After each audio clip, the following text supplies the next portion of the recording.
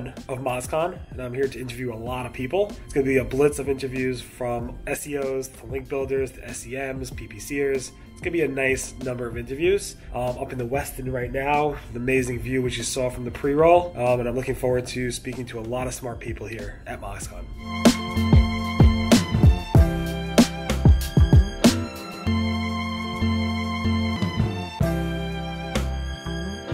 My first interview for the day is with Paul Shapiro from Catalyst. Paul is well known for his technical SEO chops, and I'll be asking him questions on technical SEO topics beyond even crawling and indexing issues. This should be fun, fun in a geeky way. All right, so with me here is Paul Shapiro. Hello. Thanks for coming. Well, it's not coming. We're at MozCon together, and I asked you to, you know, do an interview, and you said, "Sure, why not?" So I appreciate you doing it. Barry. Yeah, thank you for doing this. So tell us a little about yourself. Who are you? What Uh, you do? I'm Paul Shapiro. I'm the head of SEO at Catalyst GroupM. We are an enterprise search and social agency uh, headquartered out of Boston with offices in New York, Seattle, Chicago. awesome. And you've been a Catalyst for how many years? I think about six years now. Uh-huh. And you've been in the SEO industry for about seven. So before that, So- you so were I'd say seven to ten, like Okay. depending on how you slice it. okay. So before that, before Catalyst, what were you doing? I was working at another SEO agency out in, in New York City called Acronym. Okay. And you were in Boston for how long, approximately? Five to six years. While you were basically when you took on the job at Catalyst, you moved to Boston. I actually started in our New York City York office, City. and my wife moved for a job, and I Uh-huh. followed suit. And since we had a Boston office, it was it was a nice, easy transition. And now you're coming back to New York City area. Yeah, yeah, I'm, I'm back. I'm happy to be reacquainted with the New York City SEO scene. When you first got into the SEO space, what was like the big thing in the industry that was happening? So I got into SEO sort of very close to when Penguin was released. Mm. So it was sort of that sort of fallout from from all the links and everything. And so I, I think I learned how to do SEO a little bit differently than people that came into the industry earlier because of that. Yeah, before it was pretty much all about buying links and getting as many links as you can, and now it's a little bit different. You- You're known for in the industry is about technical SEO, Right. and I think you're here at MozCon to talk about technical SEO. So, could you tell us a little bit about? I mean, obviously, when a customer comes to you, I guess they're more enterprise level. Mm-hmm. Uh, what is like the first thing you look at? Um, what's your like? What's your plan of action when it comes to technical SEO? Yeah. about a minute or two. Yeah, I, I, mean, you do like a sort of a cursory look at the website. Uh, crawlers start at the robots.txt file, so that's that's a quick check. You do a, a site colon search into Google, see if there's anything glaring Right. coming up. Do a site crawl. You know, look for the standard checks, Right. um, and then you go into the much much deeper dive. What's going on with the website that way?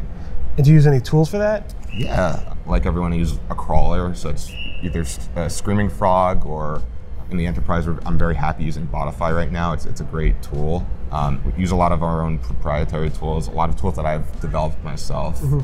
Um, that's that's something I like to do as a as a sort of like an ad hoc thing. Like if I feel like I need a certain tool for a certain task, I'll take the time and, and develop it, and hopefully it'll be useful later on. And and some of those tools, have you ever like given them out to the SEO community for free? I think. I think have, I, I give them out all the Oh, time at yeah. conferences. I'm, I'm giving out a whole bunch right now at MozCon. Uh, And where can they find that if they want to? This will be Um, published after MozCon. yeah, so I will.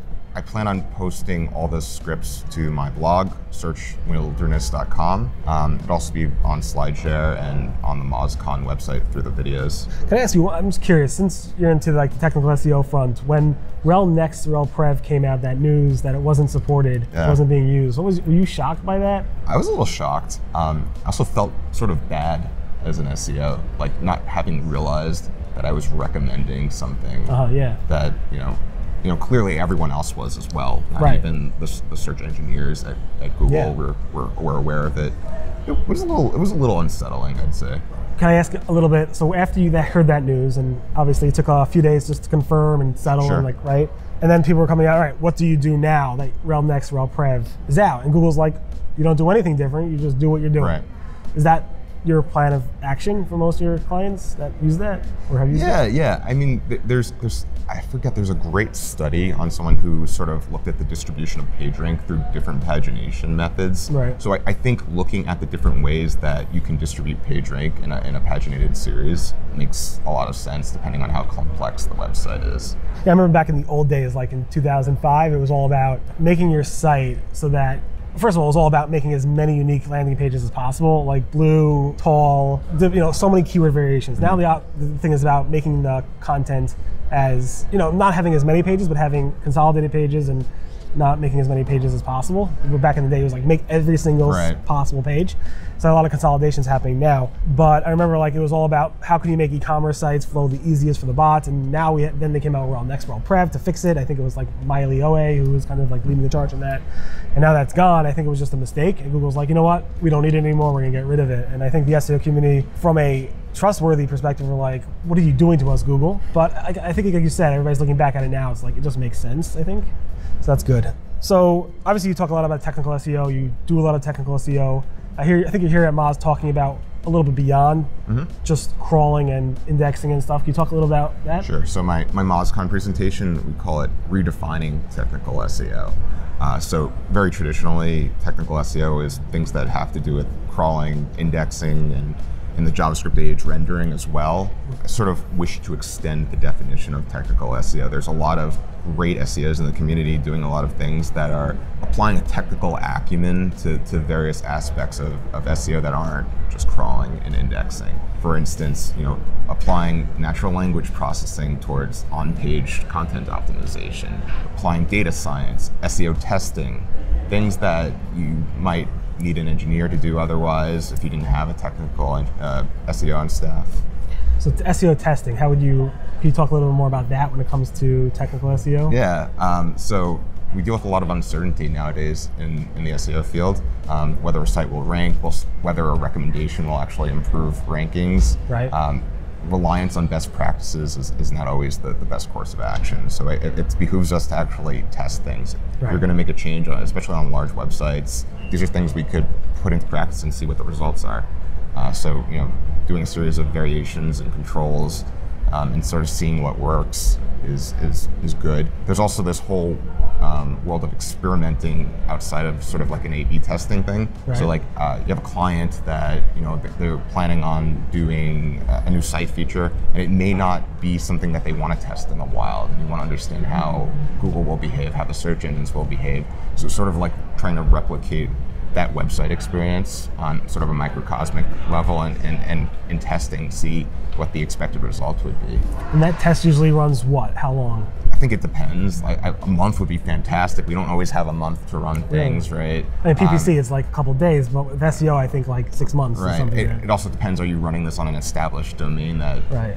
there's various factors involved. So you're also talking about natural language processing and stuff like that. I think Cars.com or actually Overstock told me that they were able to speed up a lot of their personalization on the page, which resulted in obviously not necessarily Google getting personalized content, but the page is loading for the user and obviously Googlebot faster. And they were also able to provide a better user experience for uh, their users, which translated to, I guess, better UX and and better, uh, happier Sure. customers. Is that what you're talking about in terms of natural language stuff, or a little bit different? No, I'm talking about something a little bit different, but that's that's obviously hugely important. Yeah. Web performance optimization, you know, obviously it affects everything. Like if a user gets to the website and it's it's not a fast experience, they're they're going to be upset.